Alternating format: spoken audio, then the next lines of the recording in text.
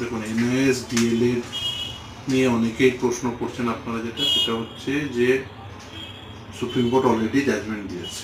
তো সেখান থেকে পরিষ্কার হয়ে গেছে যে এনআইএস থেকে যারা পাশ করেছেন, তারা পরবর্তীতে বসতে পারবেন না। কিন্তু যেগুলো অলরেডি অ্যাপয়েন্টমেন্ট হয়ে আছে, সেগুলোতে টাচ করা হবে না। কিন্তু এখন সব থেকে বেশি যেটা নিয়ে কনফিউশন আছে আপনাদের মনে, সেটা হচ্ছে যে অনগোয়িং প্রসেসে কী হবে। অনগোয়িং প্রসেসে দেখুন দুটো হচ্ছে একটা হচ্ছে যে যে জাজমেন্ট হয়েছে সেটা আবার নতুন করে পুনর্বিবেচনার আর্জি জানানো। সেটা একটা পথ। দ্বিতীয় হচ্ছে যেটা অবশ্যই সেটা আইনগত পথ এবং সেটা পুনর্বিবেচনার আর্জি করাটা যায়।